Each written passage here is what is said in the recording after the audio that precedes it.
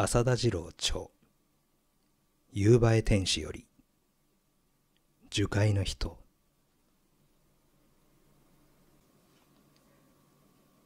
二十歳の頃不思議な体験をした。もっとも体験と言い切れるほど確かな記憶ではない。それからの長い時の間に勝手な想像がすげ足されて一体どこまでが事実であったのか。確信を持てぬからである。例えば初恋の記憶のようなものだといえばそんなところであろうか。いかに小説家とはいえこのような書き出しをしたからには多少の責任を負わねばなるまいと考え書斎の奥深くに分け入って証拠物件を発掘した。しかる後再び筆を取る。証拠物件の1はトルーマン・カポーティの Breakfast at Tiffany's。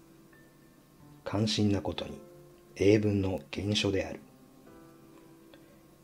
今となっては信じがたいばかりだが大学に進まずに陸上自衛官となった私は受験勉強の成果で案外英文の読解ができたらしい。ところどころに辞書を引いた痕跡の赤字があり最後までどうにか読み合わせたこともわかる。文庫本を少し縦に引き伸ばしたサイズである。証拠物件の2は陸上自衛隊の通信帳でこうした官品を持って除隊するのは規則違反には違いないがまあ時効ということでよかろう。白い表紙の横長のノートである。今更規則違反を責むるように桜の対象が印刷されており当時の所属部隊と階級氏名が明らかに私の筆跡で書き込まれている。ページをめくってこれをあえて返納せずに持ち出さなければならなかった理由が知れた。通信帳の前半は傍受した伝聞で埋まっている。例えば丸人30正体は土屋台にあり。南東500に戦車1両を含む優勢なる敵。至急応援頼む。などという通信訓練か舞台演習かはわからないが至極真面目な緊迫した文字が書き連ねてある。しかし同じ通信帳の後ろからはあろうことか米粒のようなボールペンの文字で小説が書かれているのである。実に例えばであるがユキコは男を起こさぬようにそっと布団を這い出ると粉雪の降りかかる窓辺に寄った。しかしじきに眠っていると見えた恋人の腕が意志まとわぬ背中を抱きしめたのであった。などというなんだかものすごく古臭い。それでいて今とさほど変わらぬところが大層恥ずかしくもある文章が連綿と並んでいる。これではまさか返納することはできまい。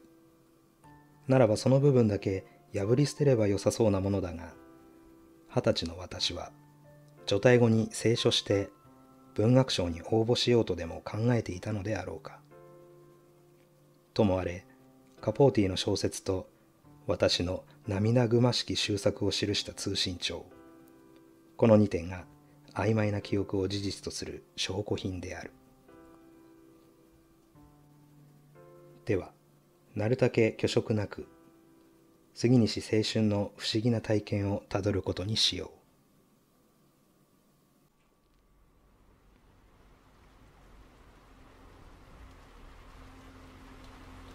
空を豊もして春の嵐が寄せてくる朝間炊きであったと思う。東富士の爆営地を出発したトラックは演習場の境界を越え無線機を背負った通信兵をみちみち一人ずつ下ろしながら走った。下車した後は速やかに樹海の奥へと進出し行進を開始する。民間人と接触してはならない。撤収時は下車した位置で待機せよ。教官はいちいち同じ命令を伝えた。話が大雑把すぎて質問のしようもなく降ろされた隊員は戸惑いがちの敬礼を返すと樹海に消えていった。結果を求める訓練ではなかったのだろう。つまり石膏に出た通信兵が孤立無縁のジャングルに置き去られたという状況を体験するのである。その辺りが電波の届きづらい地域であることは知っていた。高出力の車載無線機ですらよほど場所を選ばなければ役に立たず小型の携帯無線機は全く用をなさなかった。つまり通称 P10 と呼ばれる中帯無線機を背負って通信可能な地点を探さねばならないわけで速やかに樹海の奥へと進出しという命令の意味はそれである。各中隊から選抜された隊員が無線通信や有線構築や手旗や暗号や機材の専門知識を3ヶ月がかりで習得する集合教育はそろそろ仕上げにかかっていた。バカでは務まらない。鉛がきつくてもいけない。個人装具のほかに10キロの無線機を背負わされるのだから体力もなければならなかった。集合教育を終えて中隊に復帰すれば演習の都度通信士の任務を命ぜられる。歩兵部隊の中では機関重視と同じくらい割を食う役目だった。血のつく雨の中をトラックは幌もかけぬばかりかご丁寧に風貌まで倒して走り続けた。車や戦闘服を覆う偽装も顔に塗りたくったグリースも実践さながらだった。民間人と接触してはならない。という命令を思い出して私はおかしくなった。こんな身なりでは民間人が近寄ってくるはずもなくもし見かけようものならこっちが逃げ出す。第一台風が接近中の県道はすれ違う車もなく民家も売店も見当たらなかった。むしろ気になるのは撤収時のことである。まず肝心の撤収命令が傍受できるかどうか怪しい。たとえ受信できたところで下車した位置に戻ってくることができるかどうかも到底自信がなかった。辺りはうっそうたる雑木の密林で目印など何もない。さらにはその撤収命令が一体いつ出るのか数時間後なのか数日後なのかもわからなかった。演習というものは戦闘状況を仮想しているのでそうした予定はたとえ決まっていたとしても隊員たちには伝えられないのである。甘いの肩から下げた雑能には野戦食の缶詰と乾パンが入っていた。出発前に装具の点検があって私物の食料や金銭は取り上げられた。それでも通信帳に挟み込まれたカポーティの小説は見つからずに持っていた。いつ終わるとも知れぬ孤独な生活に一冊の書物があることは幸いだっ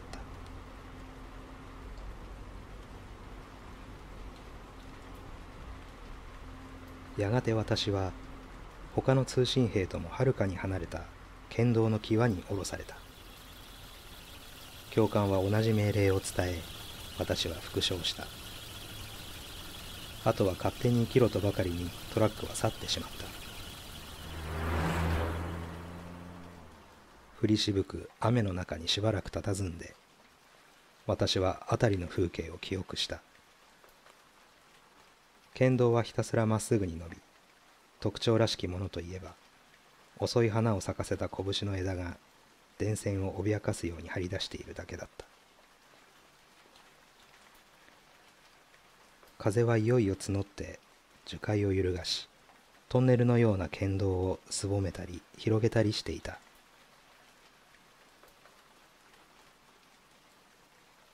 教官の目がなくなったので鉄棒や戦闘服の肩を覆ったすすきの偽装をむしり取った。無線機を背負いあらゆる装具の中でこれが何よりもバカバカしいライフルを担って私は密林に歩み込んだ。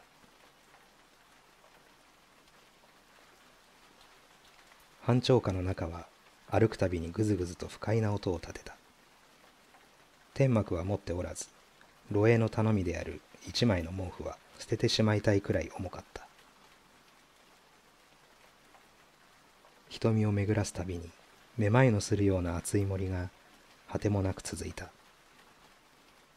初めは針葉樹の枝の伸び方を読みながら真南を目指して歩いたのだがそのうちすっかり方向を失ってしまった。ともかく通信の可能な地点を探さねばならなかった。出発前に周波数は合わせてあったから電波が届けば受話器の差音が途切れる。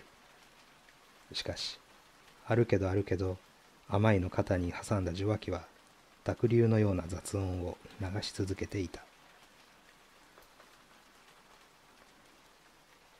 人間は誰しも自分が今どこで何をしているのかと考えることがある。いわば己の存在に対する会議である。私は将来哲学とは無縁の得な性格なのだがさすがにこの時ばかりは考えた。一体俺はこんなところで何をしているのだろう。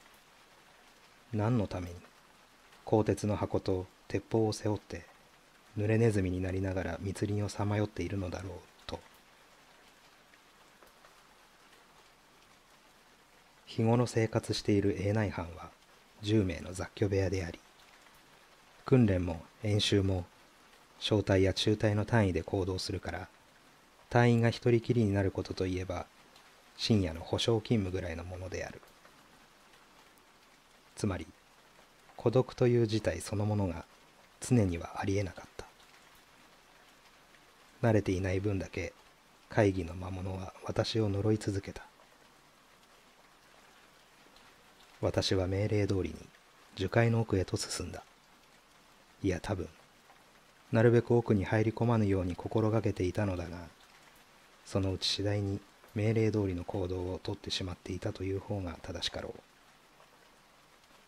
左音の強弱に耳をそば立てながら進むうちにすっかり方向を失ってしまった。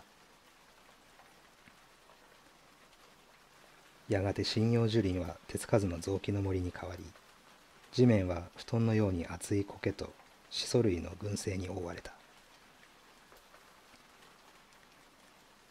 雨雲は樹海の上にわだかまっていた。松やもみならば雨を遮ってくれるが若葉の芽吹き始めた雑木はむしろ狙い撃つように大粒の雫を鉄棒に浴びせ続けた。ようやく司令部からの電波を傍受したのは樹海を何時間もさまよった昼過ぎであったと思う。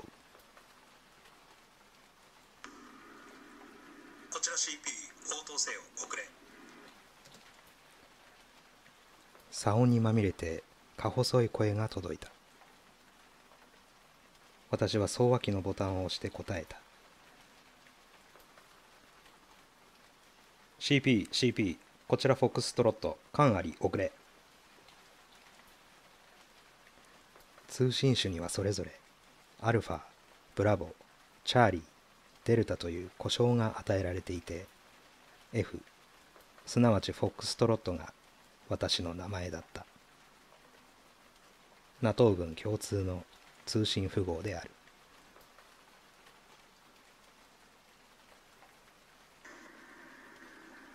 了解。フォックストロットの電あり感度悪し微調整せよ遅れ。私は電波を傍受した位置に銃を置いて目印とし少しでも左音の静まる場所を探して辺りを駆け回った。だが不思議なことにかろうじて電波が届くのはその一点だけで数歩離れればたちまち雑音が受話器を覆った。私は元の位置に戻って無線機を背中から下ろし周波数のダイヤルを針の穴に糸を通すぐらい息を詰めて調整した。規定の周波数からはだいぶ飛んだあたりで不意に騒音が消えた。CP、CP、こちらフォックストロット、間どうか、遅れ。途端に耳を裂くように飛び込んできたのは教官の罵声だった。遅い。何やってんだお前。現在地知らせ。遅れ。現在地と言われたところで説明のしようはない。地図は白紙同然だしどこをどう歩いてきたのかもさっぱりわからなかった。だが無論教官もそんなことは承知しているはずである。要は通信訓練なのだから適当なことを答えればいいのだと思い直した。CP こちらフォックストロット。現在地は県道より5キロ南。近くに大きな岩あり。遅れ。こちら CP フォックストロットの現在地は県道の南5キロ。近くに大きな岩あり了解異常ないか？遅れ。こちらフォックストロット。異常なし遅れ。こちら CP フォックストロットは現在地にて別名あるまで待機。人なら〇〇より丸5〇〇まで電波風刺。了解か？遅れこちらフォックストロット、現在地にて別名あるまで待機。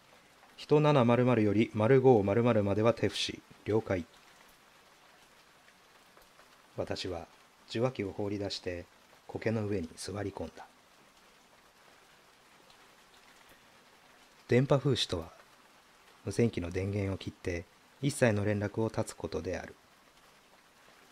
無線は有線通信と違って敵に傍受されやすいから部隊が密かに行動するときはしばしば電波風刺の命令が下されるしかしこの場合はバッテリー節約のために電源を切っておけというほどの意味に違いなかった。ともかくこれでこの演習が少なくとも明日の朝まで続くことは明らかになった。集合教育は最初の1ヶ月が基礎。2ヶ月目が基礎を応用した訓練。3ヶ月目が戦闘状況を想定した演習である。多分この演習のシナリオはこうしたものだったのであろう。敵陣深くに分け入った石膏は通信兵一人を残して全員戦死した。それでも孤立した通信兵は密林に身を潜ませて敵情を司令部に送り続け使命を果たした後戦場を離脱する。一体司令部の幕舎でどんなことが行われているのかは知る由もないが訳も分からず樹海に残地された一兵士にしてみればともかく電波風刺が解除された明日の朝の第一電が状況終了直ちに撤収せよの命令であることを祈るほかはなかった。教官の苛立ちからすると他の通信兵の所在はすでに確認できていたのであろう。私だけがとりわけ電波の届かぬ辺りをさまよっていたらしい。私はビニール袋にくるんでいたタバコを取り出して穂先を雨からかばいながら一服つけた。樹海はあらかた平坦だが電波が届いた一点はくぼ地になっていた。いくらかでも高い場所の方が有利には決まっているからこの座標はまさに謎だった。ただ一つだけこの奇跡のヒントがあるとすれば司令部に報告した通りの大きな岩だった。その辺りには苔むした岩がゴロゴロと転がっており窪地の中央には神錆びた巨岩が伝と鎮座していた。お前一体いつからそこにいるんだと尋ねたくなるような岩である。私の御岳の倍くらいあるてっぺんに祠が祀られていないのが不思議なくらいだった。その代わり岩の周囲にぐるりと根を巻いて盆栽のような黒松が生えていた。もしかしたら太古に富士山が吐き出したこの巨岩には特別の磁場か何かがあって電波を引き寄せるのではなかろうかなどと私は考えた。そうでなければ群がる枝が空を隠し鍋の底のようになったこのくぼ地の中央にだけ電波が通じているという非科学を説明することはできなかった。私はタバコを吸い終えると無線機をくぼ地に立てたまま後ずさっていくらかは雨をしのげる巨岩に背を持たせかけた。そのわずかな隔たりを移動させても無線機は役立たずになるのだから仕方がない。小銃を杖にしてしばらく眠ろうと思ったが体は冷え切ってしまっていた。まさか読書をする気にもなれず私は雨に濡れそぼつ一色の緑の世界をぼんやりと眺めていた。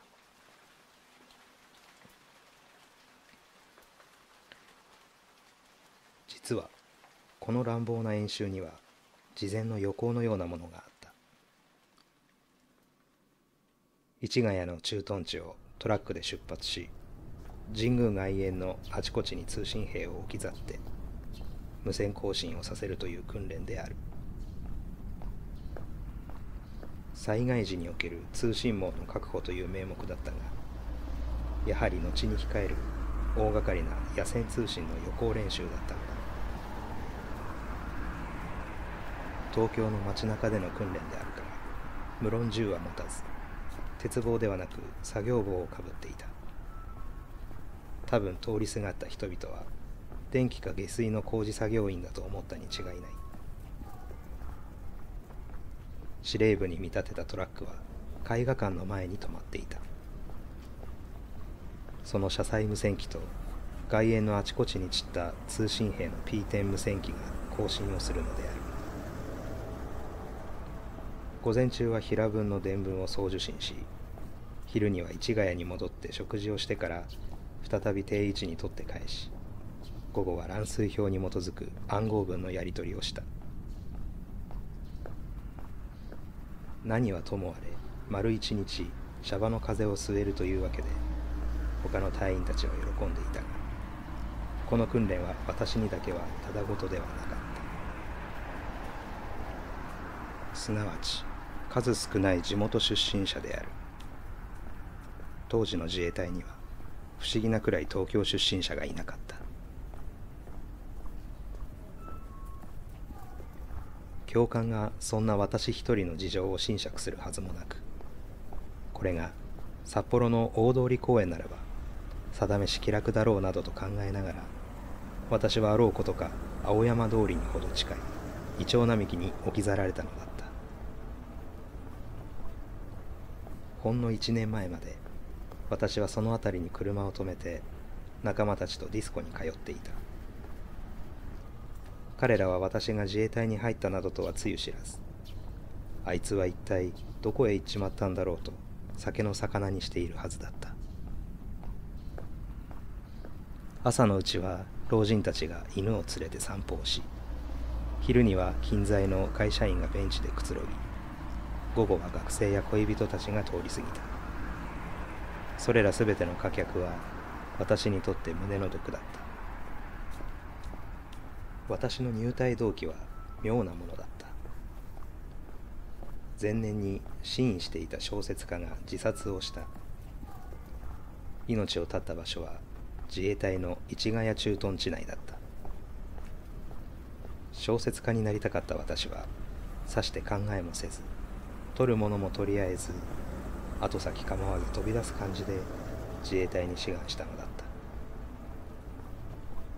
親兄弟はなぜだと首をひねりこぞって本意を促したが私は聞かなかった。なぜだと問われても説明のしようはないので親兄弟どころか自衛隊の面接官にすら動機は語らなかった。いくら後先構わぬ決心にしろさすがに相思相愛の恋人を捨てるのは気がとがれた。その恋人とも幾度か腕を絡めて歩いたイチョウ並木なのだと思えばひとしお胸の毒だった。吹きすぎる風もしだれる桜も絵画館のドームに向かってまっすぐに続く空の回廊も何一つ変わってはいないのに己一人のこの変貌は一体どうしたことであろうと私はいぶかしんだ。後先構わず踊り込んで何か確かなものでも発見したというならまだわかる。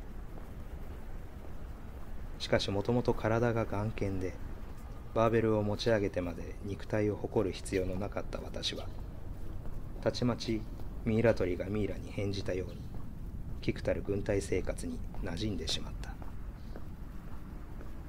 つまり知り合いに会ったらどうしようなどという話ではなかった。世界が何一つ変わらずに私だけが変わった。さてこの矛盾をどう説明するのだと。私をめぐるすべてのものと人とが回答を強いているような気がした。実はその時すでに私の人生は十中八九定まっていたようなものだった。任期を継続して陸曹候補生となりめでたく定年を迎えるまでその転職に甘んじる。あるいは中断していた受験勉強を再開し夜間大学を経て一般幹部候補生となる。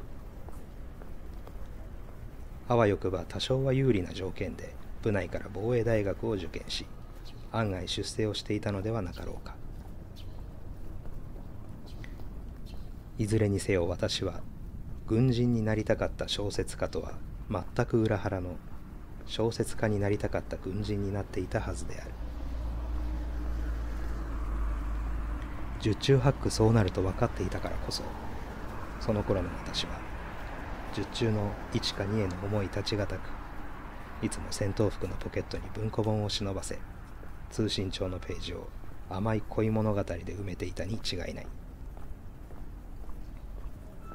あの頃の私を呪い続けていた己の存在そのものに対する会議などという暴用たる苦悩をきちんと説明すればそういうことになる。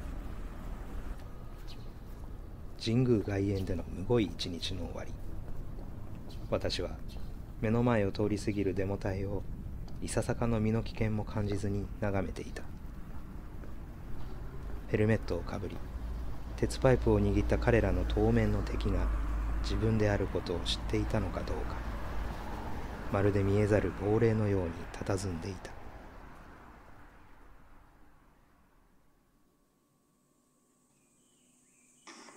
こちら CP フォックストロット応答せよ。感あるか？こちら CP フォックストロット応答せよ。遅れ。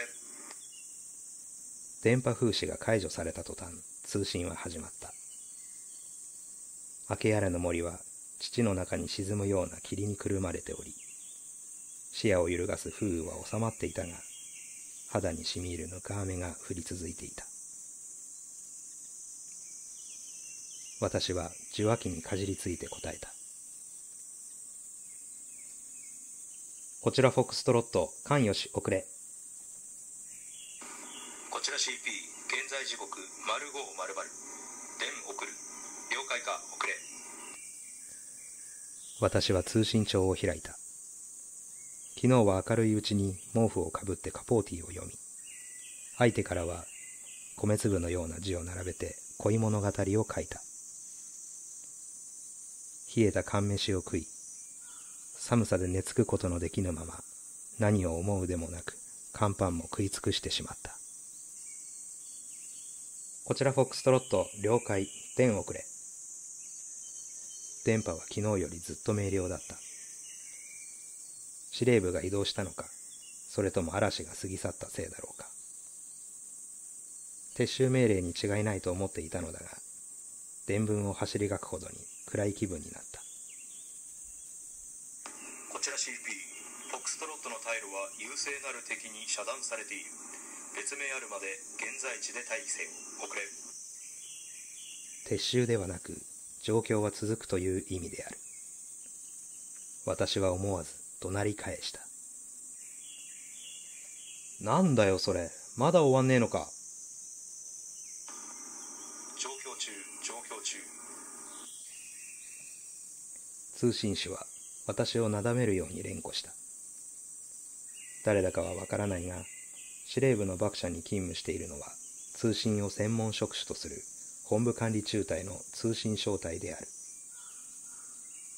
3ヶ月の間集合教育の補助要員として私たちを苦しめ続けている彼らを私は日頃から腹立たしく思っていた。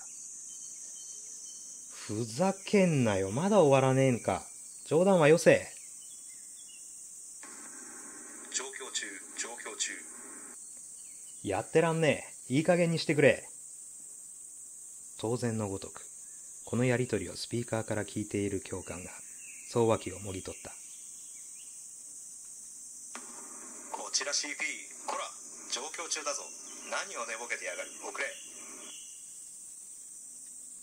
私は言葉遣いこそ改めたが怒りは収まらなかった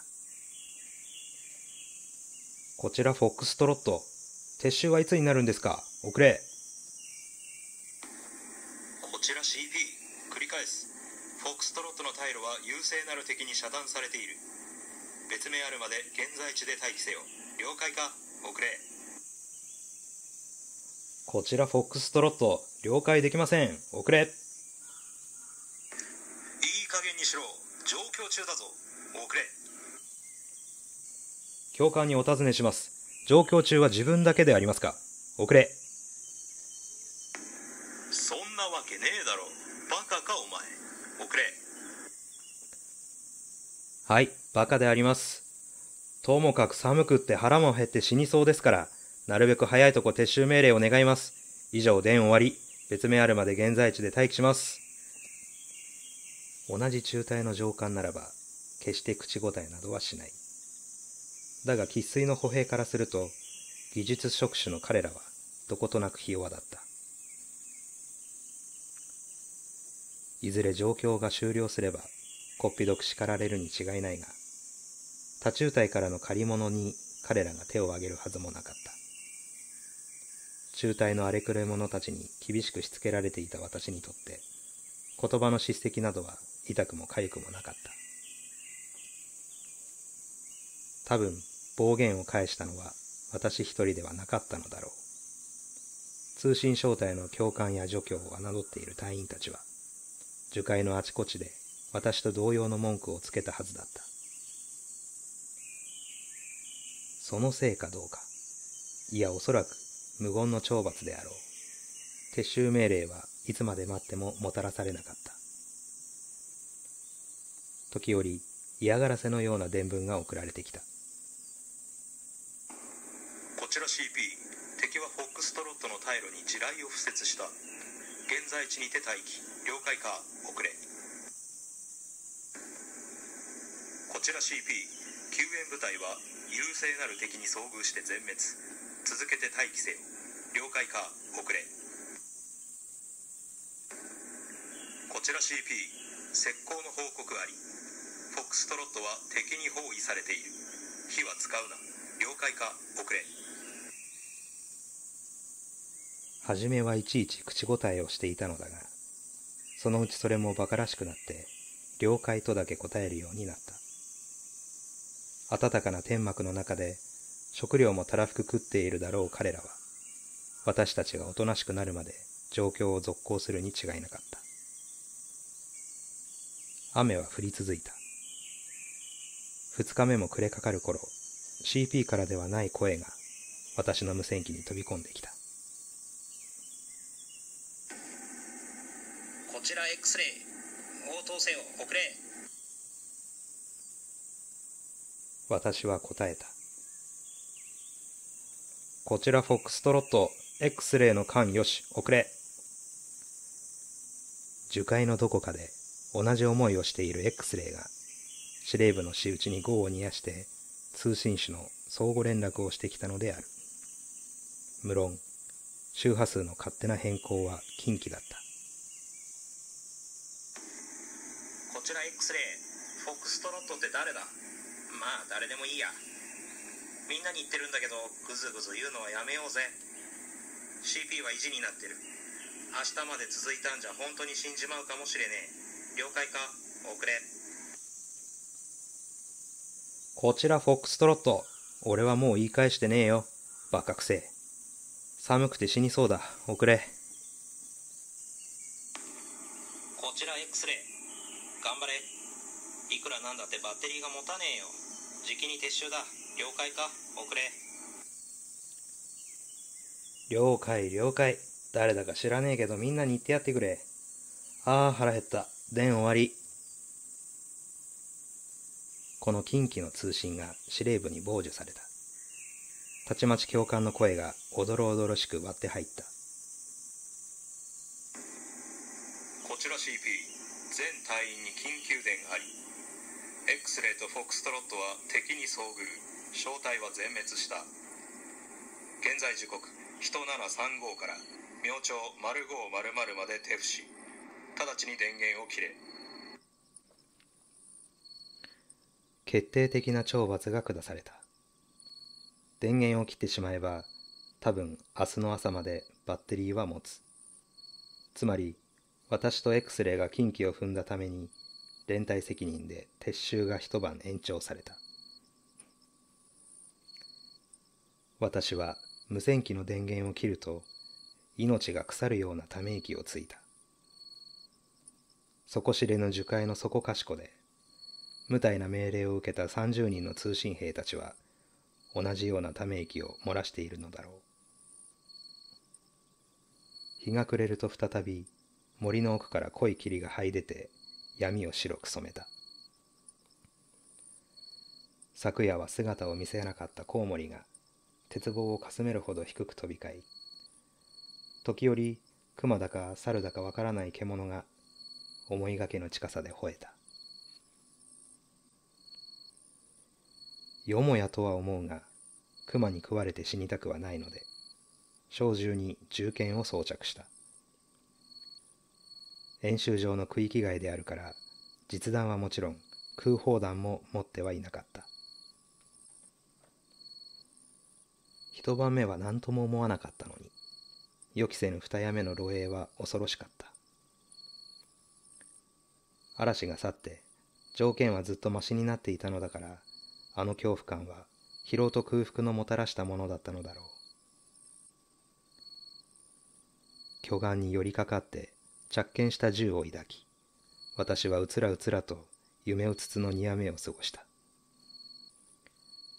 目覚めるたびにここはどこで俺は誰なのだろうと会議した。たとえ私の未来は十中八九決定済みであるとしてもこの現実だけはどうしても入れられなかった。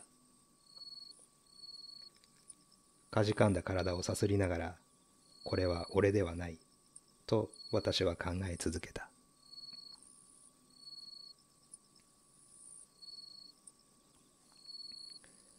ことに世の中が豊かになればなるほど遠い昔に完成を見ている軍隊の訓練は反社会的な経験となる。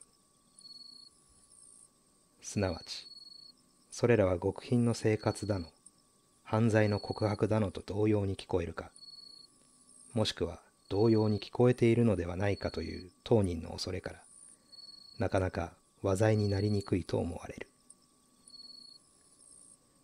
ましてや私の場合先の通り普通の兵士とは少し違う入隊の動機があり間抜けなことにはまさしくミイラ取りがミイラになってその不純な入隊動機すら忘れかけていた。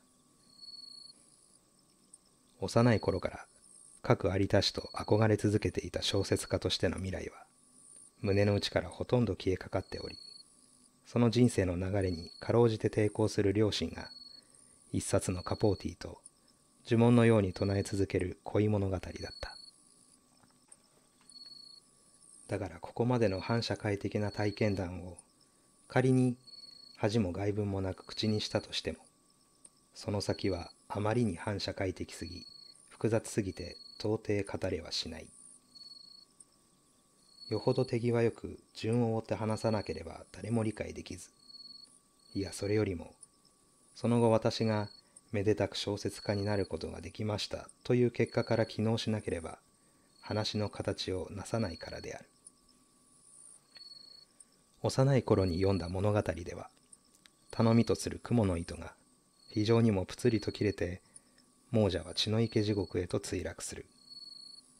もし彼が奇跡の登攀の途中で地獄を顧みることなく無事に極楽の蓮池のほとりに這い上がったとしたら物語はその途端に偶話性を失って破綻するであろう。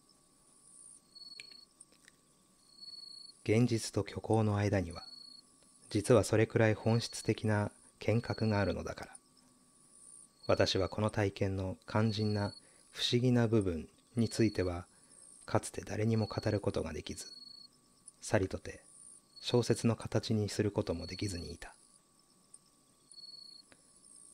倉庫を考えると人生が二度あればという小説のお題は地獄の空にスルスルと輝い降りてくる雲の糸のごとくに思える。内心閉めたとつぶやいて私は糸をたぐる。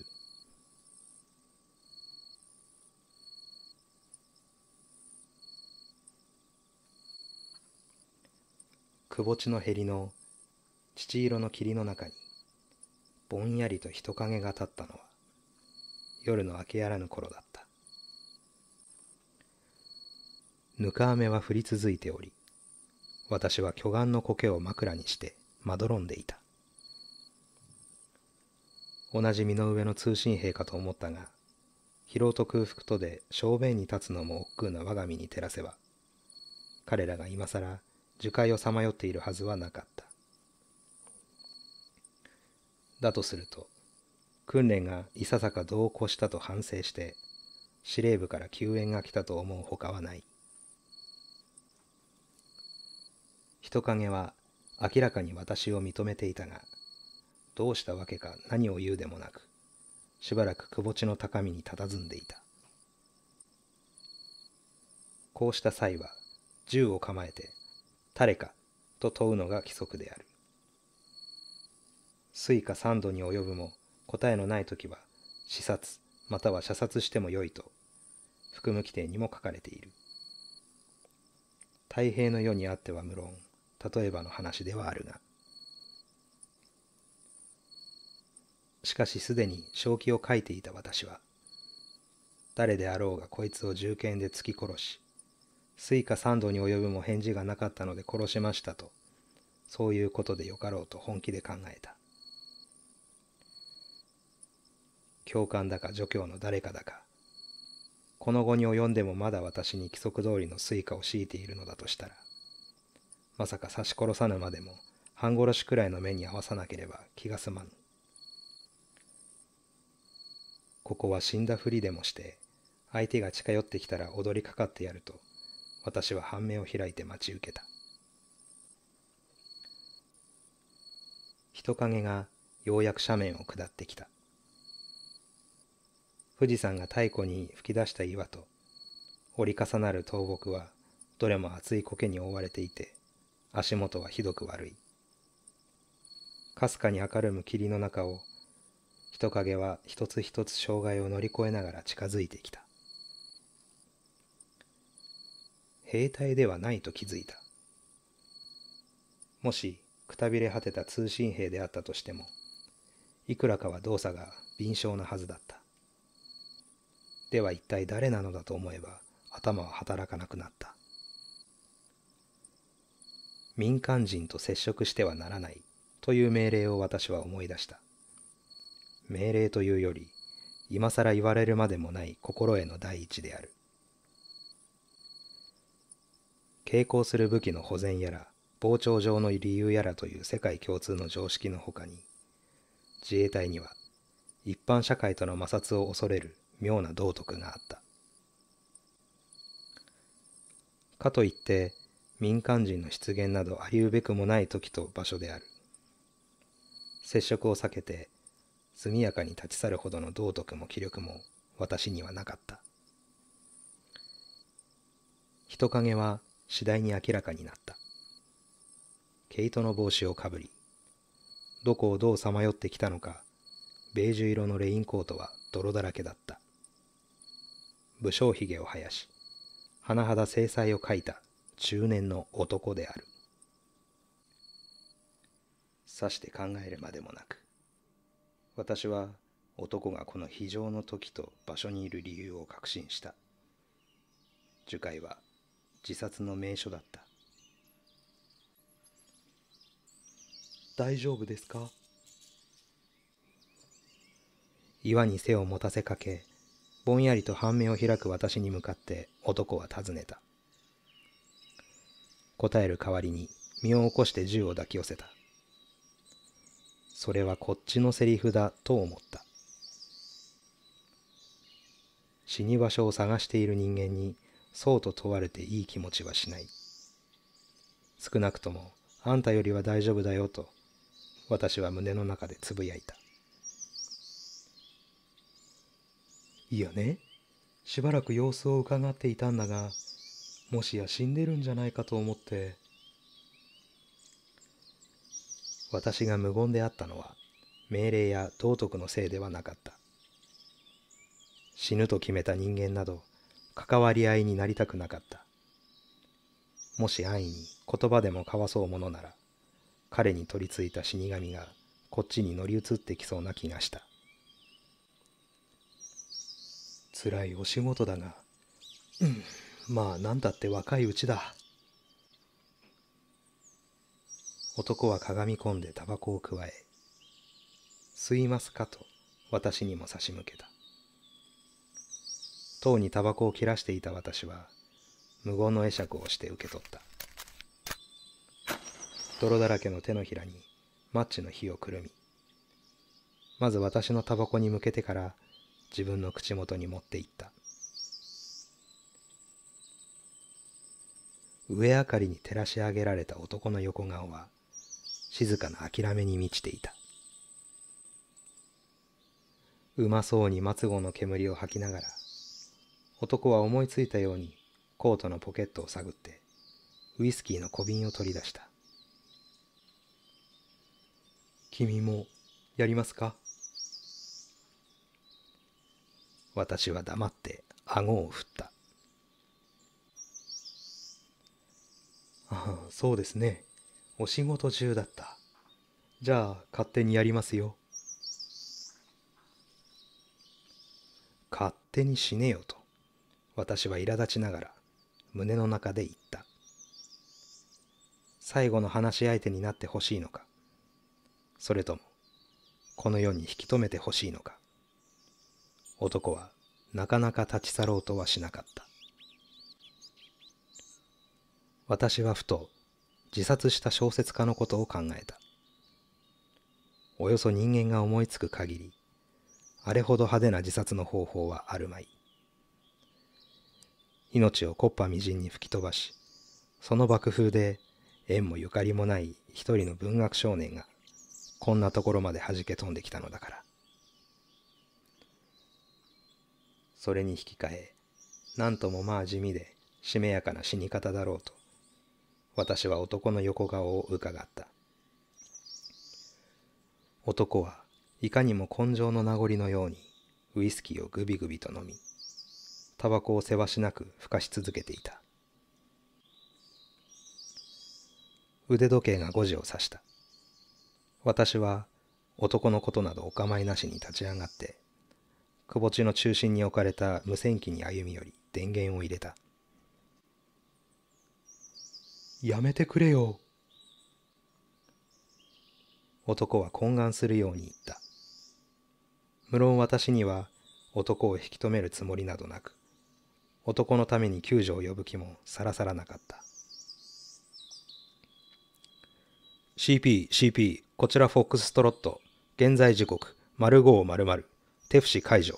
感あるか、遅れ。私の更新を待ち受けていたかのように、司令部からの電波が着信した。こちら CP、フォックストロットの間あり良好。電送る了解か遅れ。私は腹の団体に挟み込んでいた通信帳を取り出した。読み差しのカポーティが苔の上に落ちて腹のほころぶようにページが風に騒いだ。こちら CP フォックストロットは速やかに現在地を離脱せよ。集合時刻丸530撤収をもって状況終了。了解か遅れ。私は伝聞を通信帳に走りがいた。こちらフォックストロット了解した。電終わり。やれやれと2日分のため息をつき私は帰り支度を始めた。銃剣を外して鞘に収め無線機を背負い毛布を畳んで肩に担いだ。班長下の紐を締め直していると男がカポーティを拾い上げて私の目の先に差し出した。忘れ物だよ。私は初めて答えた。それはいらない本は読み差しだったが雨に濡れてふやけきってしまっていた。いや持って帰りなさい。妙にきっぱりとまるで命ずるように男は言った。これもどうぞ。男は本の表紙の上に小さな紙袋を乗せた。押し付けられた中身を見ると平たく潰れたアンパンが入っていた。私は満身の装具をゆすり上げて歩き出した。何歩もいかぬうちに矢も盾もたまらなくなってアンパンを口に押し込んだ。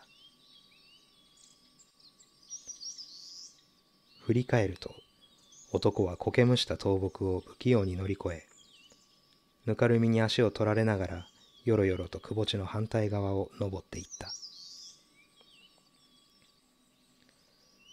私は腹に入った途端炎に変わるような食物を咀嚼しながらその後ろ姿を見送った。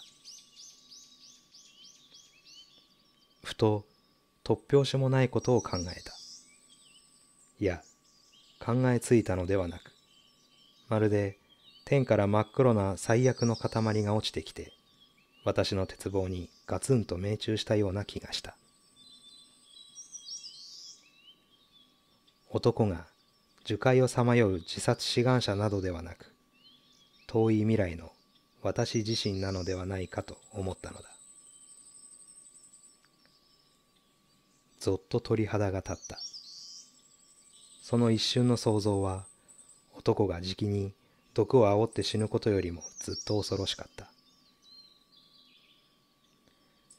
樹海の奥深くは時間が歪んでいて私は20年後か30年後かに世を儚んで自殺しようとする私自身と出くわしたのではなかろうか。そう思えば生い茂るツタをかき分けて去っていく背格好はちょうど私と同じほどであり語りかけていた声もその仕草も私とそっくりだったような気がしてきた。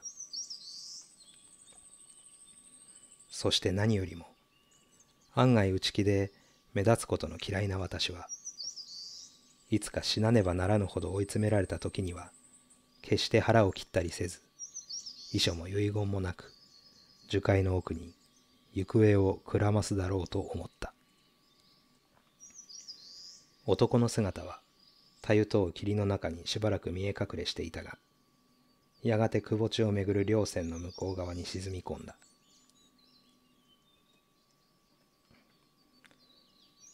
木々の枝は何事もなかったように帳を下ろし朝告げ鳥が鳴き始めた「おーい!」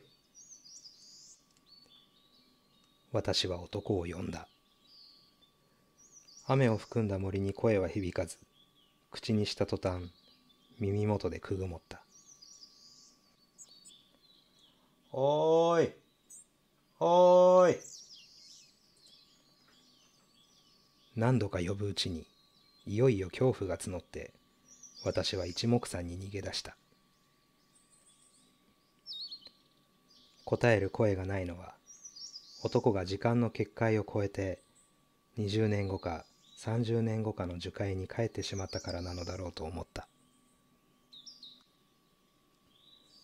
方向は全く失っていたがしばらく闇雲に歩くうちに細い林道に出た。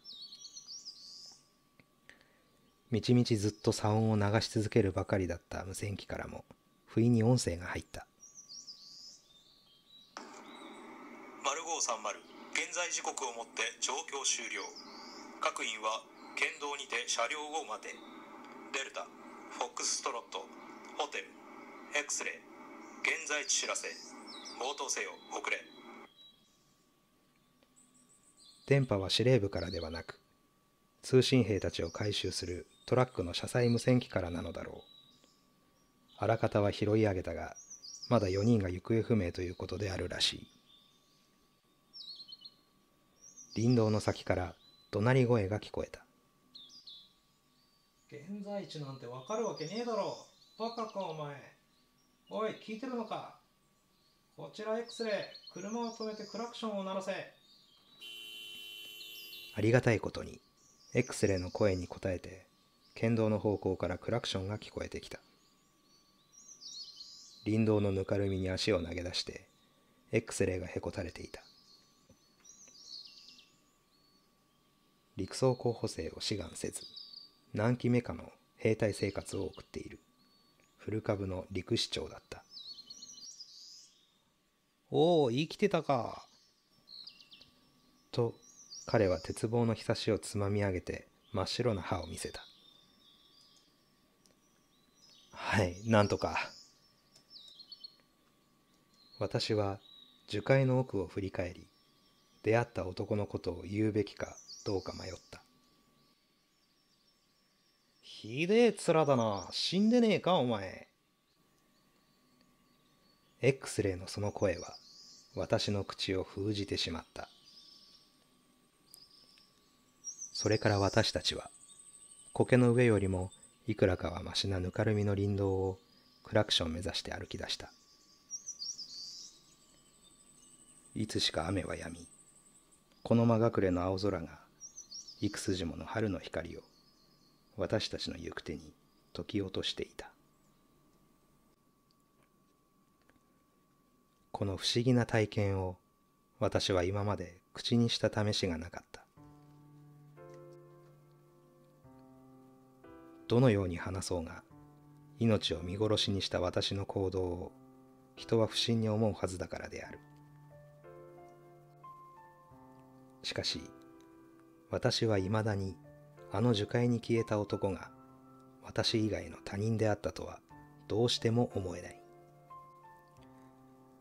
ずっとそう信じてきたから誰にも話すことはできなかった。つまり人を見殺しにしたという介護は何もない。そうこうするうちにあの男の年齢は超えてしまった。いつしかそうした運命が待ち受けているかもしれぬという予感に怯えながら無論その間には命を脅かす苦労は幾度かあったのだがどうにか乗り越えて50も半ばを迎えた。だとすると二十歳の私はやはりあの日藁にもすがる思いで助けを請うた人を知らぬ顔でやり過ごしたのだろうか。いや違うと思う。いかに私が疲労と空腹で正気を失っていたとしてもこれは自分自身の未来の姿だなどという途方もない想像をするはずはない。ではこんな解釈はどうであろう。もしあの日の樹海に時間が歪むほどの奇跡が起こったのだとしたら時間ばかりではなく私を異尿していた環境のすべてが実態とは違う抽象的な概念に変形していたとしても何ら不思議はあるまい。小説家の突然の訃報に衝撃を受けて後先構わず彼の死に場所に踊り込んだ私はすっかり己を見失っていた。多分十中八九人生は定まってしまっていた。たまたまそこにうっそうたる物語の森に迷い込んでうたた寝でもしていた。未来の私の魂が滑り込んだ。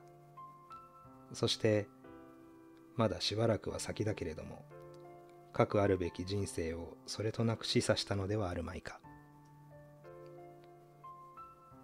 誠に都合のよい解釈だがそう考えれば両親の咎めからも免れあくる年に八百ら本意して除隊したことの説明もつく。筆を置きしびれた足を踏み机の下に投げ出して仰向けば長い時の間に繁殖した書物は視野を覆っており書きかけの原稿だの構成釣りだのの資料だのが太古の苔のように書斎の畳を埋め尽くしている。果てもない想像が生い立ちかつ埋もれかさみひどく乱雑に見えて妙に正常な気に満ちた物語の樹海である。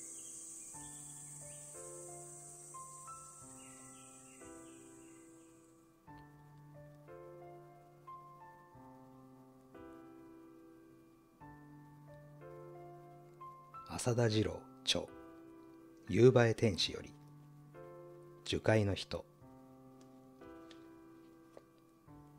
朗読は吉岡でした。